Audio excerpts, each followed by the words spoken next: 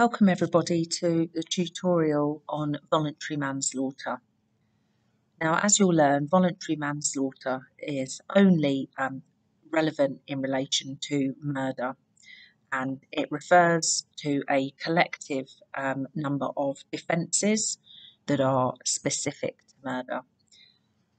Voluntary manslaughter, I think, is um, a term really unknown to many members of the public, but if you were to talk to anybody about, say, the Yorkshire Ripper, so Peter Sutcliffe, um, or a more recent case that made headlines, um, a lady called Sally Challen, who was uh, imprisoned for killing her husband. Both of these famous cases have um, considered voluntary manslaughter defences um,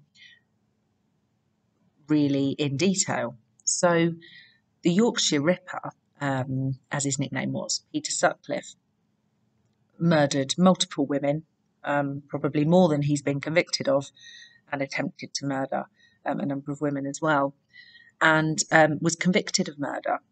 But on the basis of a medical diagnosis of schizophrenia, his charge was altered to diminished responsibility, which meant that his charge of murder was lessened to voluntary manslaughter. Um, but as a result, he was transferred to Broadmoor, which is a maximum security psychiatric hospital, to receive treatment. And when he was deemed fit to be um, no longer treated, the court made it very clear, because of the nature and severity of his crimes, that he would have to go back to mainstream prison. Um, as you probably will have heard in the news, he actually died. He died of um, COVID um, not so long ago, so he's he's no longer with us. Um, Sally Challen's really famous um, recent case because it really marks the significance and the impact of a new offence uh, created um, and brought about by the Crown Prosecution Service in 2015 called coercive control. And it's that recognition that abuse in a domestic setting can take a number of different forms. It, in essence, recognizes that abuse is more than just physical, it can also be mental as well. And Sally Challen spent a number of years um, being not physically abused, but mentally abused and, and controlled by her husband. And she ended up killing him. Now, she was convicted um, of his murder um, in 2011 and she spent nine years um, in prison for that crime. But her and her children, in fact, campaigned for many years for the circumstances to be recognised.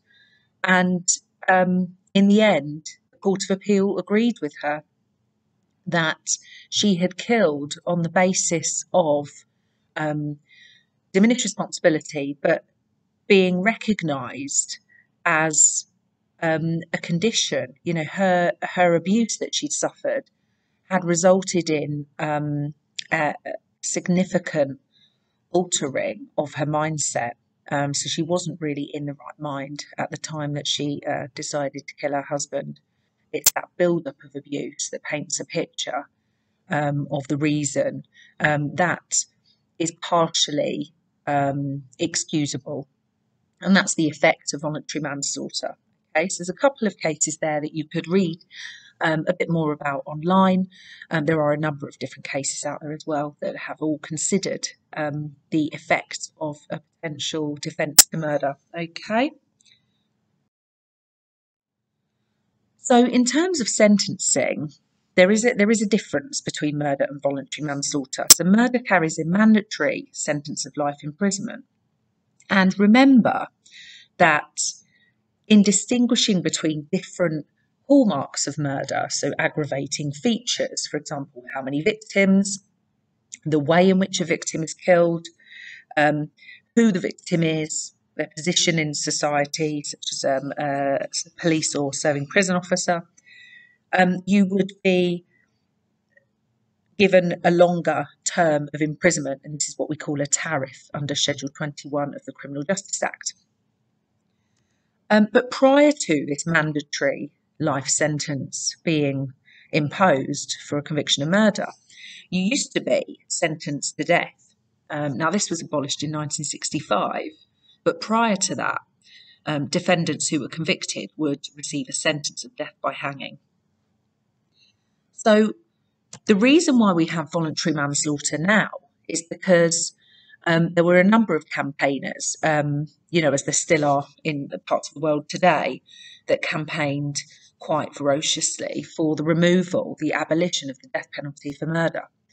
Um, and, you know, in response to that, although it took um, until 1965 to remove it, just some years before, Parliament passed an act called the Homicide Act 1957, which allowed certain partial defences um, to be raised, which in turn would allow a defendant to avoid the death penalty.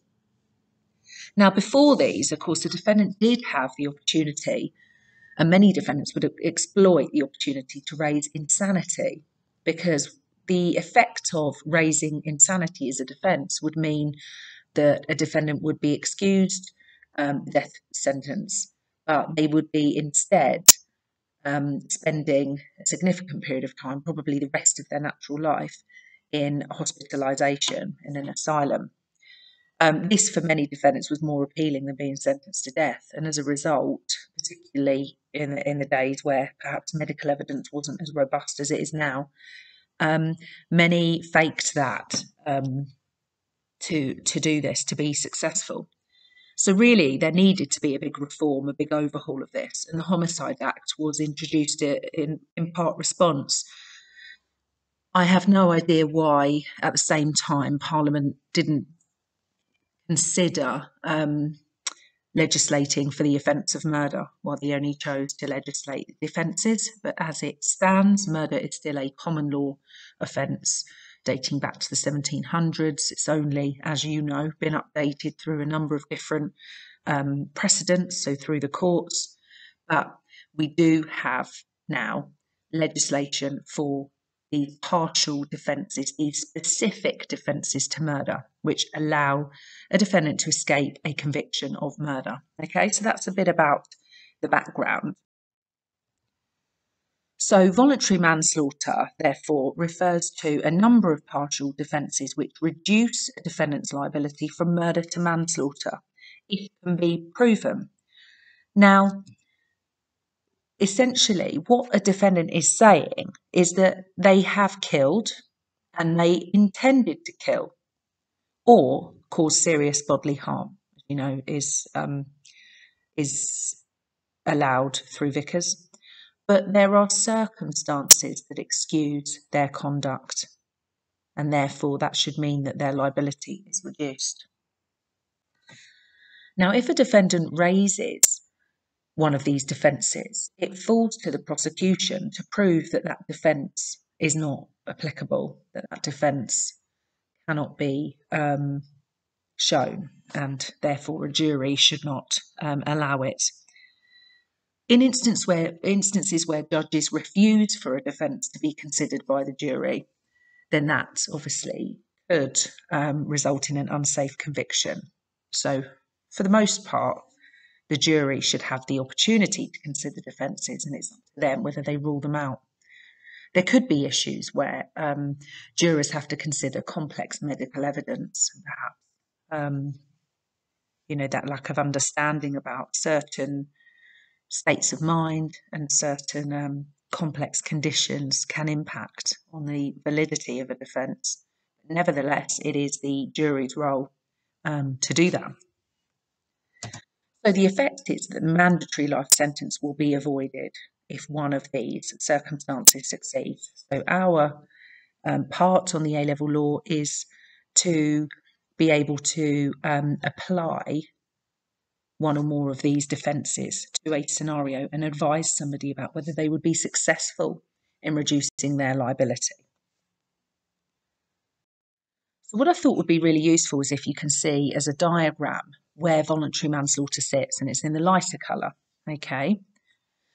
So, voluntary manslaughter sits in the fatal offences um, arena. So, you've got, you must have at the top an unlawful killing, so we must have a death of a victim.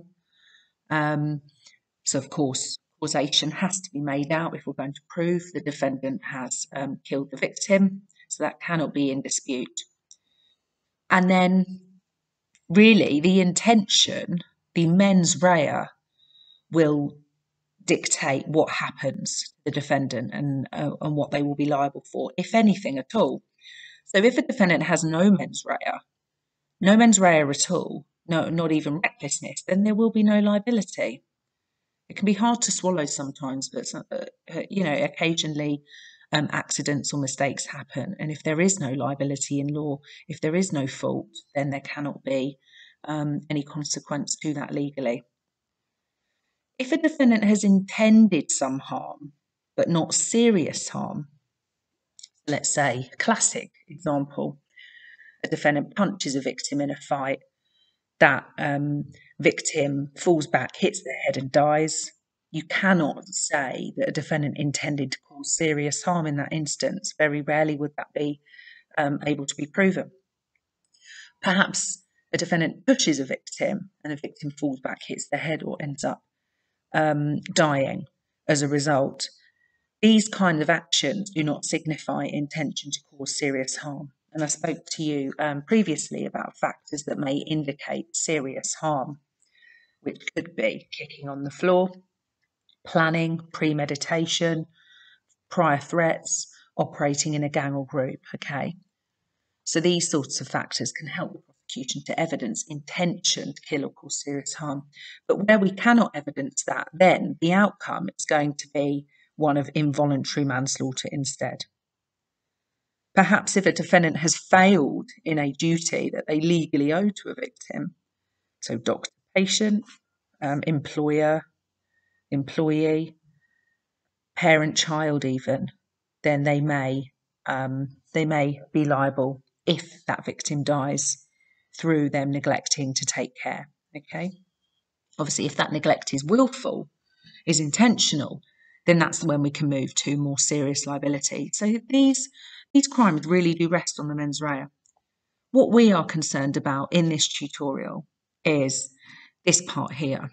So there is a killing, a defendant has intended to kill or cause serious harm, but there is a reason why they did that. Perhaps they have a medical condition which must be recognised, or perhaps they lost control in the in the moment. They were unable to control their actions, and they, this is the part that we are going to focus on. So there are two defences that we're going to consider. One called diminished responsibility. In essence, your responsibility for the killing is diminished, it's decreased, it's lessened because of your state of mind. Um, secondly, you lost control at the time and therefore impaired responsibility for the killing. This defence was previously called provocation, so you were provoked into killing. And I really do recommend um, a film, an old film called Provoked, if you want to see kind of the history of how this defence used to work. Okay, so there's a task I want you to do. Um, you'll have a worksheet for this. If you don't have a worksheet, then you can find this law online. These two defences were previously, as I mentioned in the beginning, set out in the Homicide Act. So I want you to see what the defences used to need to be proven can you identify the test of the defences? Usually we can separate tests into three parts. So if you can do that, great. And then have a look at the new law. These defences are now in a new act, um, or new for the um, in relative terms, quite new in terms of legal updates. The Coroners and Justice Act 2009. Because in the A level, we don't need to any longer um, evaluate these defences. We are not going to spend any significant time looking at the old law under the Homicide Act. We are going to look at what the current law is and how we apply it. Okay, so we are concerned with the Coroners and Justice Act, and that is the most important part. But what I'll just do um, briefly is take you through the old law. So if you can pause this and have a look for yourselves, and then we can go through it together. So, the old law for diminished responsibility was found previously under Section 2 of the Homicide Act. Okay, and what the law said was that a defendant must prove, and that's interesting, isn't it? A defendant must prove. I mean, if a defendant is raising a defence, technically there's no need to prove anything. What the prosecution must do is disprove if a defendant brings evidence. So, in a sense, the burden of proof rests on the prosecution to prove that a defendant has killed and had intention to kill. They must disprove any defences that a defendant raises. But if you raise a defence as a defendant, you do need to bring evidence to show that that was the case at the time. So, in a way, it does practically fall to you to, to show that this is the case. If you're going to claim that you were that your responsibility was diminished at the time of the killing, you have to bring evidence to show that. Otherwise, you're less likely to be believed. So, a defendant must show that he was suffering from an abnormality of mind. And this is the interesting bit in the 50s, which was caused by arrested or retarded development of mind or an inherent cause of disease or injury. And this substantially impaired his mental responsibility for the killing. Well, there are a couple of things wrong with this, aren't there? And if we think back to the 50s, perhaps this terminology was more um, acceptable then. Um, but to use terminology like arrested or retarded development of mind, of course, you know, we've come a long way in terms of um, terminology and medical technology as well. So I'll take you to the updated law, which is, of course, the most important. The new law is defined under Section 52 of the Coroners and Justice Act 2009. And just note, when you're citing legislation, you need to include the year of the Act, okay, as well. So the defendant must show at the time of the killing that they were suffering from an abnormality of mental functioning. Just note that when we say he was, um, as the legislation would say, under the Interpretation Act 1978, this um, also includes she or they. Okay, so an abnormality of mental functioning. Well, that's a lot better than um, mind. That sounds a bit more technical, a bit more medical. But the best one is the second part which was caused by a recognised medical condition. So that's much better than the lengthy paragraph that we've had in the old law. Um, recognised medical condition indicates we're, we're going to need some medical expert evidence there. And similarly, must substantially impair the mental responsibility for the killing. But there's some additional information here. So, this substantial impairment must result in the defendant failing to understand the nature of their conduct or be able to form a rational judgment or be able to exercise self control. Now, only one of these needs to be shown, okay, which um, in legislation, the, the use of and or or makes a big difference to um, what needs to be proven and what needs to be shown. So, a defendant in raising this defence only needs to show one of these things were substantially impaired at the time of the killing. Okay. And lastly, which is an addition, is there must be a link from the impairment to the killing. So you could suffer with a medical condition at the time of a killing, but if you fail to show that that impairment or that condition was the reason behind the killing. It, it provides an explanation as to why you killed. Then that will be um, that will not be successful. Okay, so we have to show that the impairment is linked to the killing, kind of like causation in a way.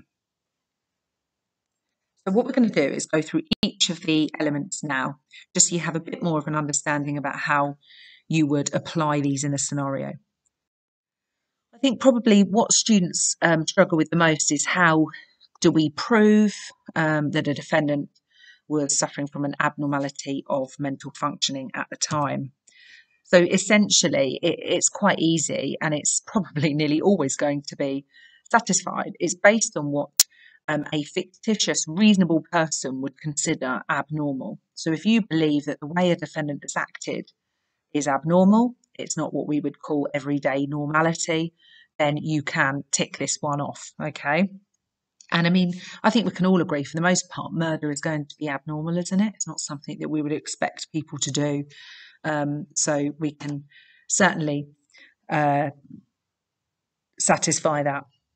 So this comes from the case of Byrne, and just note the year of Byrne because this is prior to the Coroners and Justice Act, of course. It was just after this defence came about um, in its original form from the Homicide Act. But case law will still be appropriate only if it's overruled um, either by a later case or overruled in legislation will this not apply anymore? So we still have to prove abnormality of, as it was here, the mind, or as it is now, mental functioning. Okay. And all we do is we simply compare the defendant's actions um, to or um, consider whether, based on what a reasonable person thought, are they abnormal? So Byrne was, um, just brief summary of the facts, a sexual psychopath strangled a young woman and mutilated her body. He was unable to control his perverted desires, so he was unable to stop himself um, from carrying out this crime. And, you know, the question begs is this normal or is this abnormal in the eyes of a reasonable person? I mean, the critic in me would say perhaps this test needs overhauling, um, but, you know, we can say, yes, this is most likely going to be considered abnormal. Hopefully, you all agree with me. um, so, conditions which could amount to this, you know, what what are we going to consider as um, a condition that could amount to a, an abnormality of mental functioning and therefore could be considered a recognised medical condition? Just note that medical evidence must be provided and the key case for this um, is the case of Martin. So we will look at um, the case of Tony Martin in more detail when we come to look at the defence of self defence, because this is um, a man who was charged with murdering um, an intruder in his in his farmhouse in Norfolk. Famously, um, this case is very famous, 1999, and um, he shot an intruder um, and unfortunately killed the intruder, who was a 16 year old boy. So the boy and an adult had broken into his home, and it, it um, on the evidence, it wasn't the first time. Um, Tony Martin had a, um, in his illegal possession a firearm. He didn't have a license, which of course he was charged for. But at the trial, he sought to raise self defence and defending his property, which, um, you know, by law you can act um, proportionately and reasonably. Um, the prosecution was successful in convincing the jury that he hadn't acted reasonably, proportionately, necessarily. So he was convicted of murder.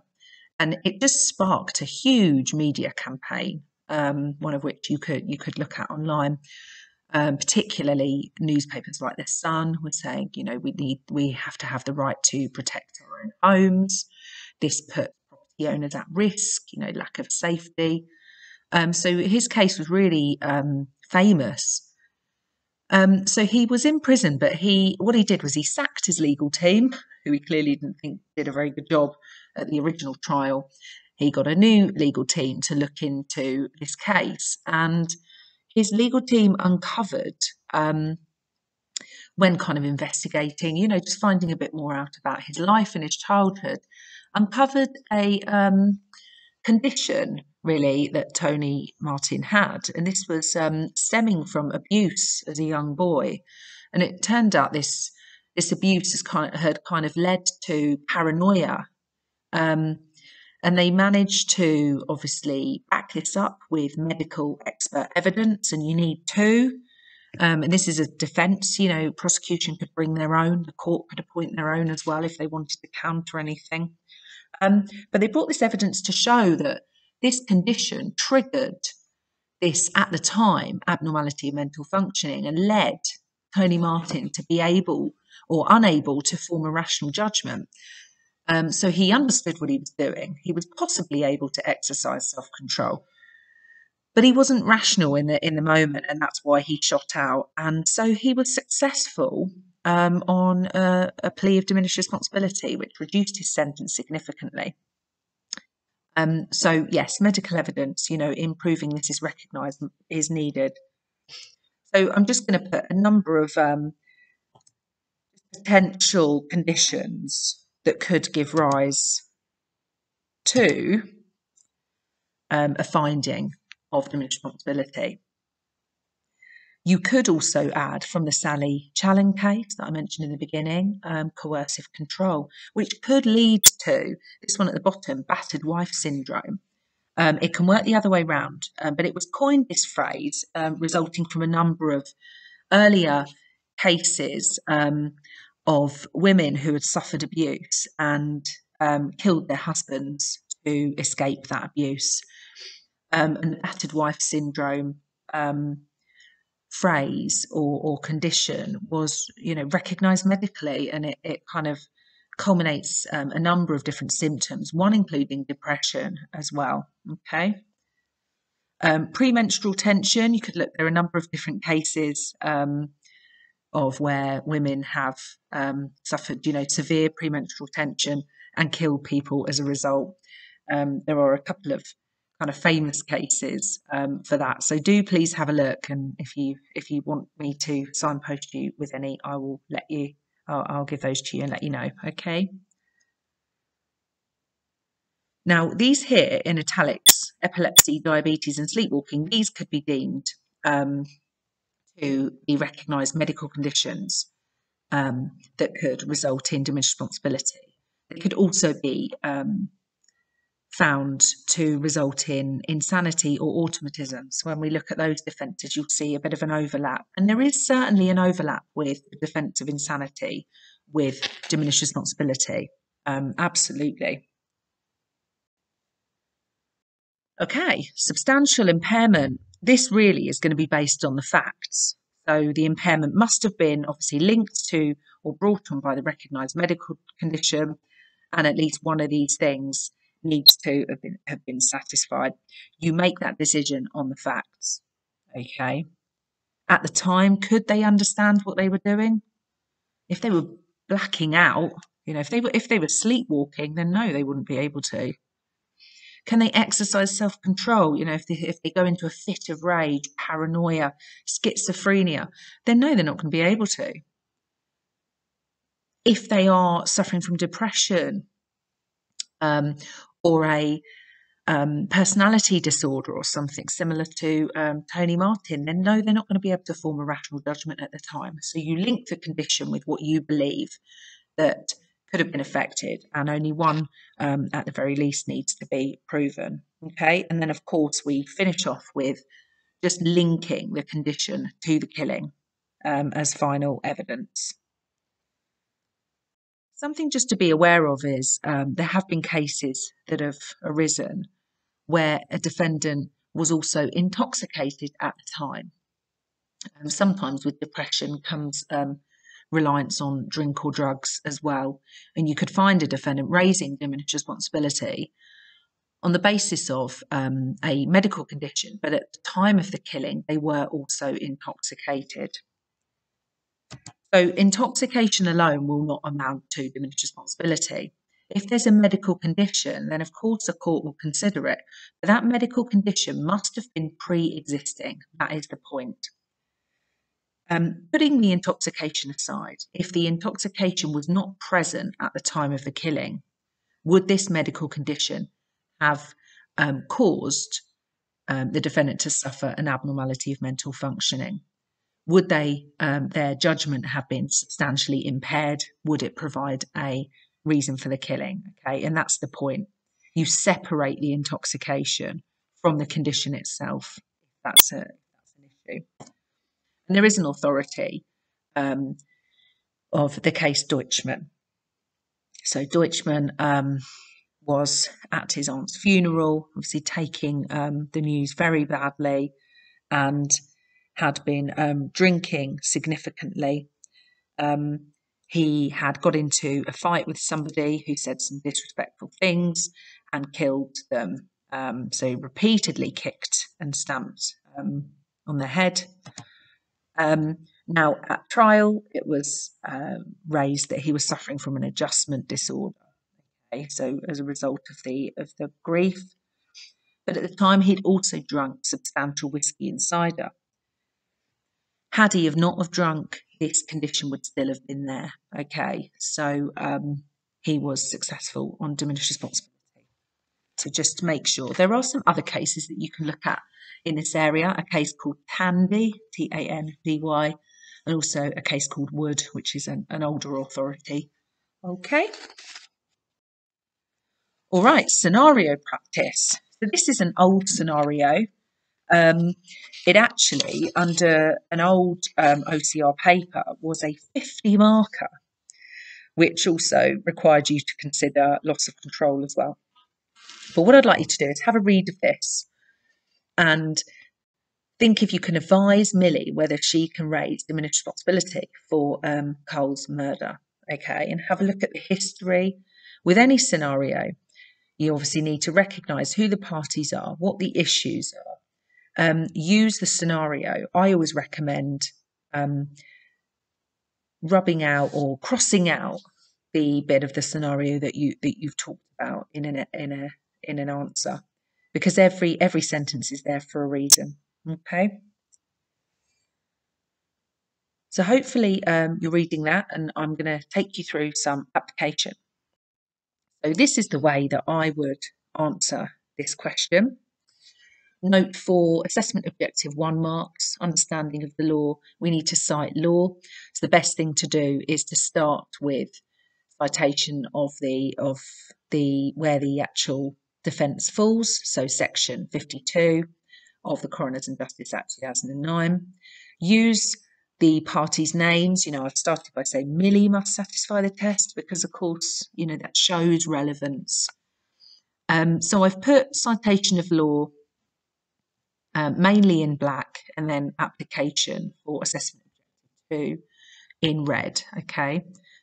Um, so Millie must be suffering from an abnormality of functioning. So I've said her actions would be considered as abnormal, not what we reasonably would expect. Okay.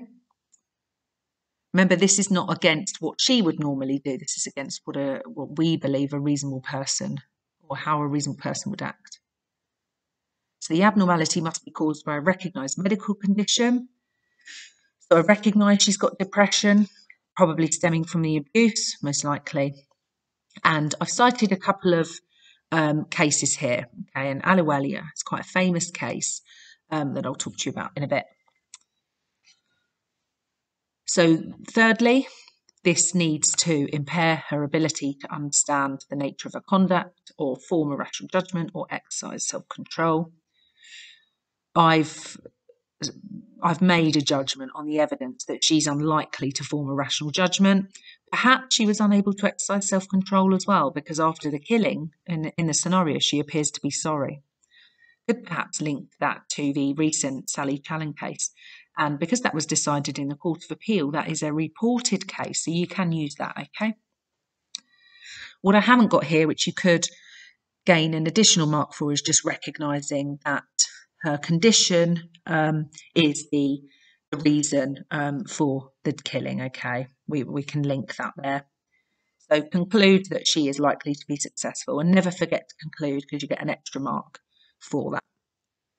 Hopefully that makes sense. Um, there's plenty more uh, scenarios available online. If you went to the Revision World um, website, you could find past papers there. So do do practice as much as you can.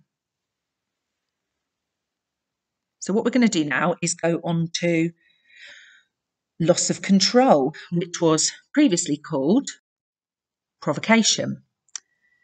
And um, provocation really um, was put on the map um, as a result of a um, a famous case involving Kiranjit Ahluwalia.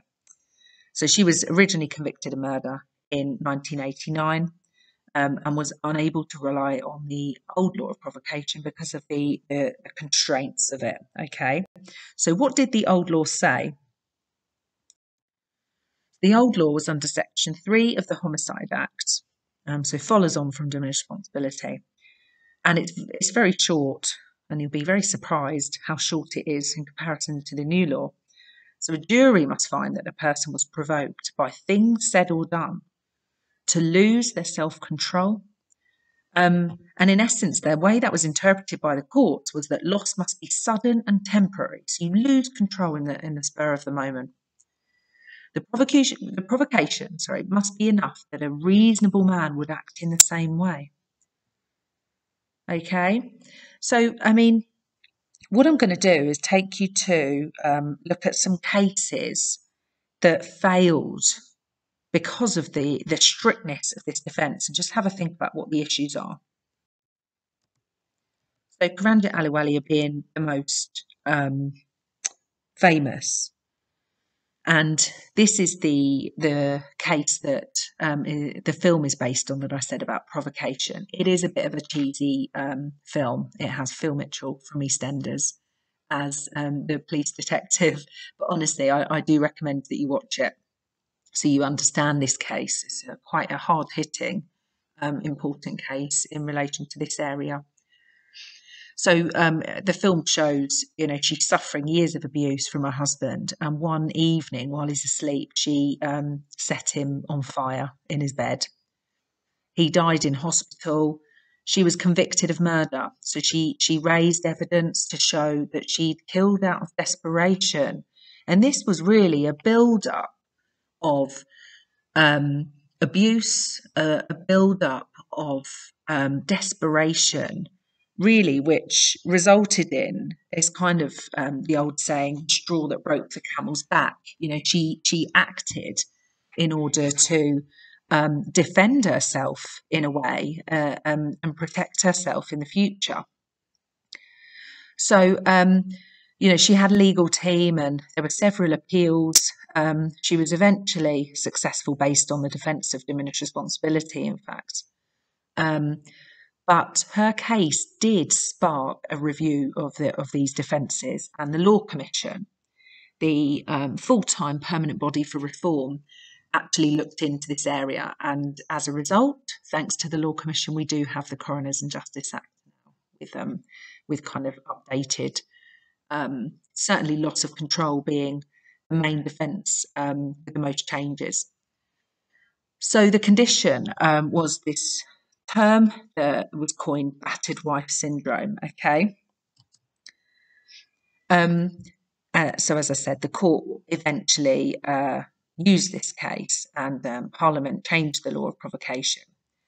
Um, and what the what kind of the main changes that came from this case, and and the others that you'll see in a minute, was that you don't um, provocation not necessarily re- require losing control in that split second. This can be a build up of conduct that provokes you in the end um, to decide to kill. So, this is what we call slow burn provocation. And that's one of the main changes to the new law now, recognizing that not everybody who loses control or is provoked um, will snap in the moment.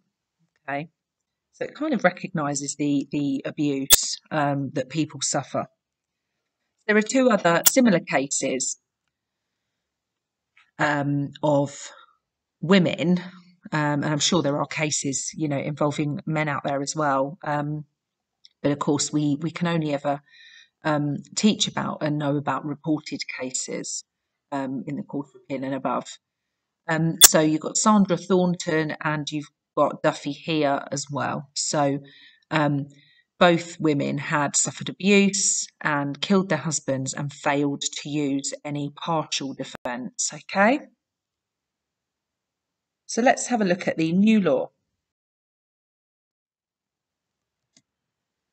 So the Coroners and Justice Act covers loss of control. It's pretty significant, substantial piece of law under sections 54 and 55. The defence will be available where the defendant's action was a result of their loss of control. Okay, so they kill as a result of losing control. Um, and that killing was caused by a qualifying trigger. Now, there are two triggers, and this is the difference. between the old law and the new law. The old law says you kill um, because you're provoked by things said or done. But the new law also includes a trigger of fear.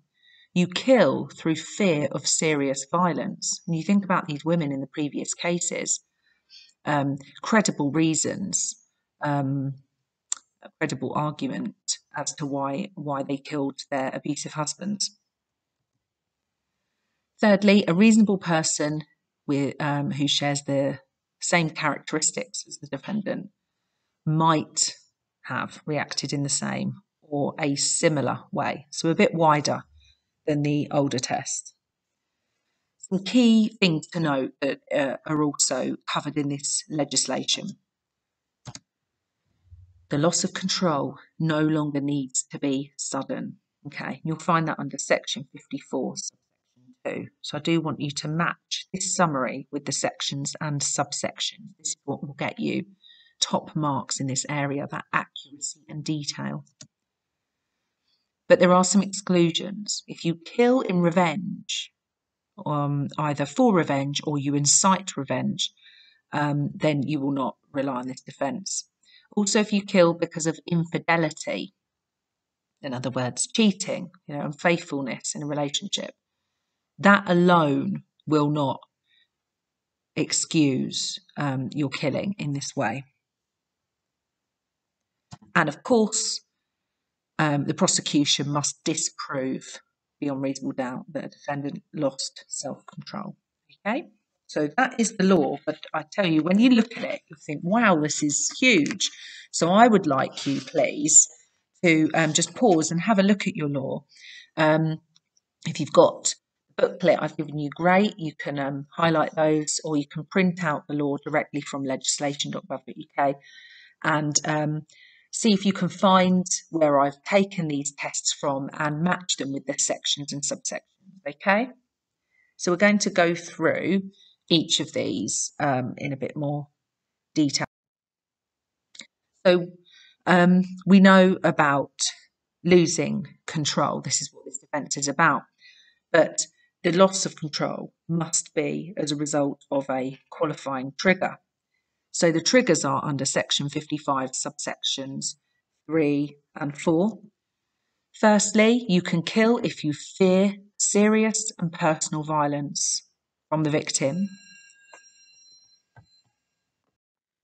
against you or another. So if you're a mother or a father, you, you kill a partner, you might fear serious violence, not just against you, but a, a, against your children, for example. Or, um, and this is a bit of a mouthful, um, the victim said or did something which constituted you to have extremely grave circumstances or caused you to feel seriously, justifiably wronged. Okay. Now, what does this even mean? Essentially, if we're going to rely upon these triggers, so let's just look at the fear one first of all. You kill because you fear serious and personal violence. Sounds similar to self defence, doesn't it? Um, what the Law Commission have done quite sneakily is they've suggested that we have almost a partial self defence added in. You lose control and you kill because you fear serious and personal violence against you or another. So you're defending yourself or another um, from serious violence. But remember, the effect of this defence is different to the um, self defence because this is a partial defence. And it's always been a criticism of the Law Commission that we do not have a halfway house for self defence. It's all or nothing. And you see that with Tony Martin. You know, he failed to convince the jury of his protection of himself and his property. Um, uh, and so, therefore, he was given a mandatory life sentence. There was no halfway house. Had this have been around, he may have succeeded in arguing that he lost control through fear of serious and personal violence. And you see, there's no other explanation. I mean, in the legislation, there's no other information about this. So, this is purely what we call subjective. Did the defendant fear or not? You bring evidence to show that you feared at the time, Um, you could show a history, a build up of that, because section 54, subsection 2 says that your loss of control does not need to be sudden. And then you're home and dry. Um, you could raise the other trigger as well. It could be and or. Okay, so both don't have to be satisfied. It depends what's right for your circumstances. Um, you could argue that things have been said or done. So somebody, the victim, says something to you, or they do something to you. So again, this could rec- um, reflect the if it was an abuse case, you know, the physical and verbal abuse, coercive control, but also the physical abuse potentially, which constituted extremely grave circumstances. Now, the word grave in law, um, I know grave can be a grave, but the word grave can mean serious, you know, really dark, really awful. So it would follow that this would mean that what, as a result of what's been said or done to you, this has caused you to feel that this is really serious. This has caused really serious circumstance. If it's physical, then it would be serious. Okay. And that's what we take from the word grave. Okay. Um, now, this is probably more likely to be objective. Do we believe that this is serious or not? Okay. But the second part, or cause the defendant to feel seriously, justifiably wronged. This could be subjective. Did the defendant at the time feel seriously, justifiably wronged? So, how did they feel? Is it serious enough? Did they feel it serious enough? Um, so, really, we're not looking at anything trivial. We're not looking at somebody making a passing comment. We're looking at the nature and the circumstances of what was said or done to the victim. Is it serious enough um, to warrant the reaction by the defendant in the killing? Okay, and that's what makes it excusable or not. And of course, um, under Section 55, if you incite the above conduct, if you provoke, in other words, a victim to say things or do things, if it's a bit of um, to and froing, then you're not going to be able to raise this defence. In essence, what you need to show through a trigger is that although you've killed, you were essentially the victim um, in in you know one form or another. Um, so you won't be able to use the defence if you've incited the conduct or if you've um, acted in revenge, if you've killed in revenge. Okay, and also um, sexual infidelity will not be able to be raised either. This comes from um, quite a, again a reported famous case um, from 2012 of um, Mr. Clinton, and there are some um, links to his case here. It's quite a sad case. Um, if it, please do read about it. Um, a man who kind of suffered some pretty uh, awful kind of mental abuse from his wife. They were separated. Um, he found out she was cheating. So he'd um, actually hacked into her Facebook account and found evidence of that. Um, she left him um, a few weeks before he killed her, so she moved into her mother's home. Um, and when she later visited him, um, he did kill her. and prior to that, there had been evidence brought to court to show that um, there was a potential kind of uh, allegation of her uh, not allowing him to see the children um, and other bits like that, that that left him quite desperate. So um, what he actually did was, I mean, it, it, the post mortem showed she died from head injuries and asphyxia. So he'd obviously tried to strangle her, um, and he also filled the house with gas fumes and left her in there. Okay. Um, so the police came uh, um, when they were called and found her like that. Now, he was found guilty of um, killing her and he was found guilty of murder. Um, he had tried to raise the defence um, of loss of control. And according to him, he lost control um, based on three things. So, firstly, his wife or separated wife had told him she'd had sexual relations with five men and described to him in graphic detail the acts that they performed. Secondly, she laughed and taunted him about a suicide website that he had been looking at on his computer. Thirdly, she told him she no longer wanted the children. So these three things, um, he said, were things said or done that constituted him to have grave circumstances and caused him to feel um, seriously, justifiably wronged. The problem was the trial judge, so the judge at his trial, ruled out this defence to the jury because he the the judge said that the words relating to any cheating should be disregarded because of course there's there's an exclusion. You cannot kill and and raise this defense based on infidelity um, so the jury were left actually with diminished responsibility to decide, but they rejected this and found him guilty of murder because, of course, there had been a lack of evidence for diminished responsibility um, brought to trial. So this case went to the Court of Appeal in 2012. So England Wales um, Court of Appeal. And the court actually raised that, or, or ruled, sorry, that this defence should have been considered. Loss of control should have been considered. And the jury should have been invited to um, make a decision. It was not necessarily for um, the judge to rule it out. So they ruled a retrial. Um, but I guess, um, or probably, you know, uh, could be considered to be really sad state of affairs. Mr. Clinton um, could not face another trial. So he decided he didn't want another appeal and um, pleaded guilty and is now serving um, a life sentence. So he did that on the first day of the retrial at Reading Crown Court because they lived in Bracknell in Berkshire.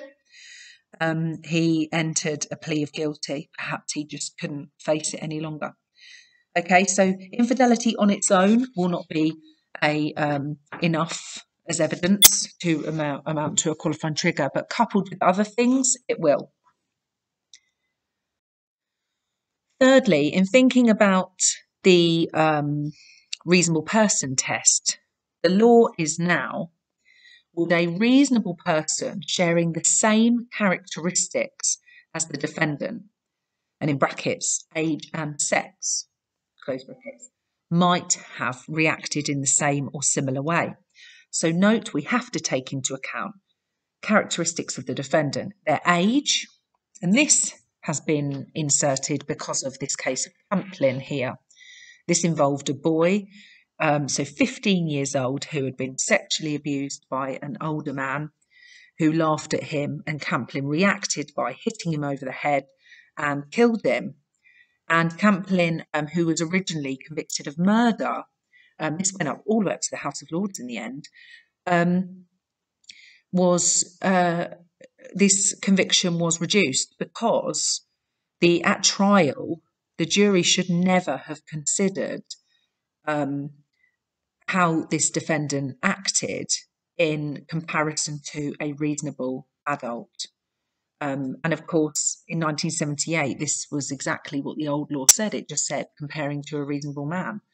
Um, and it was wrong. So age must be taken into account. If, if you have a child defendant or a younger defendant or an older defendant, you take into account their age. How would um, a reasonable 15 year old react? Probably in the same way. Okay. Um, in terms of sex, of course, take into account gender, um, where appropriate, but we do not take into account any any other factors. If a defendant is particularly vulnerable, if they have um, a condition, then diminished responsibility is the one for them, not loss of control. Um, and this comes from a case called Attorney General for Jersey v. Holley from 2004. It was a case decided in the Judicial Committee of the Privy Council where a defendant who hacked his wife to death, um, he was an alcoholic, tried to raise um, that he, well, he tried to raise that he'd been provoked into killing her. And um, when he was compared to a reasonable person, of course, he failed. He tried to argue, well, I'm not a reasonable person. You know, I've I've got alcoholism and another number of other things.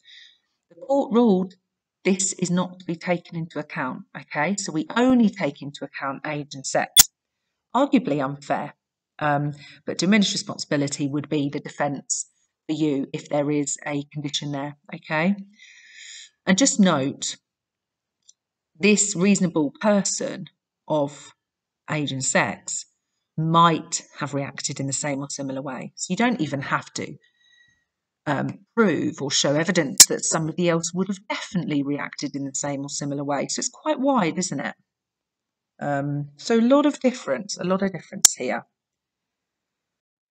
Okay, so what I would like you to do, you've got um, this table in your booklets, but I would like you to spend some time summarizing this law, okay? And you see, we can put it into kind of four boxes. You separate it out. For diminished responsibility um, and loss of control, you put the sections up here. So section 52, Criminal Justice Act 2009, sections 54 and 55. Then you'll have your abnormality of mental functioning caused by a recognised medical condition, substantial impairment, provides an explanation for the conduct. Loss of control, you have, you must lose loss of control, does not need to be sudden. You've got your qualifying triggers in here, and you've got your reasonable person test in here, and then your couple of exclusions there, okay? And make sure that you include the relevant case laws. I've given it to you and sections. Certainly sections for loss of control. I hope that that makes sense, and I'll just finish this tutorial with um, a scenario for loss of control. Okay, so please do have a um, quick read of this. And the question is advise Evan whether he can raise loss of control for the murder of Mariana. So note that some questions can be specific and just simply ask you to consider the defence, in which case you don't need to consider liability for murder. You don't need to go through the actus reus and mens rea for murder. You simply go straight to the defence. So once you've looked at that, um, this is in essence how I would set out my answer. Um, so I would start by saying, again, in the same way, Evan must satisfy the test in section 54, 54 sorry, and 55. He must lose control, subsection 1, and you can write them like this. And that loss of control does not need to be sudden. In if you wanted.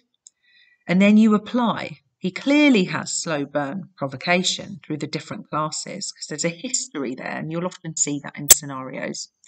On this particular day, he snaps when he grabs Mariana and punching her. So he has lost control. And it's not sudden, which we know from the legislation is fine. So remember that loss must have been caused by a qualifying trigger under section 55, subsection 3, either that he feared serious violence, or subsection 4, that things were said or done which constitute circumstances of an extremely grave character and gave him a justifiable sense of being seriously wronged. Don't forget to use the wording, okay? Don't just put things said or done. I know it would be tempting.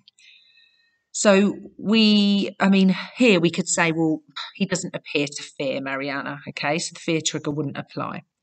But potentially the thing said or done would apply. So she's laughed at him for struggling with his work. But is this serious enough? Arguably, no. Laughing alone would not be. And the history um, between them is not arguably serious enough either. And that's a judgment. You know, if you whether you agree or disagree, um, with the next person or whether an examiner agrees or disagrees with you will not have any impact in terms of marking. It's your um, use of the law and your reasoning that gives you the marks, okay? Often in mark schemes, there's alternative outcomes available. So, would a reasonable person, um, and I could have put more here, sharing the same or um, characteristics as the defendant, including age and sex, might have reacted in the same or similar way. And you could put the cases here. You could put um, Attorney General for Jersey v. Holley, Holley being H O L L E Y. Um, you could also put Camplin as well, okay? So, although Evan has depression, so I've recognised he's depressed, maybe diminished responsibility is um, the right one for him instead. This has influenced his reaction. It's unlikely that a reasonable man of similar age and sex would react in this way to Mariana. Okay, so his depression doesn't have bearing here. So I conclude that he is unlikely to be successful. And as his lawyer, you may want to advise him um, to raise diminished responsibility in addition or instead. Okay, so that concludes the tutorial. I hope that makes sense um, for this area. If you have any questions, let me know. Um, thank you. Thanks, everybody.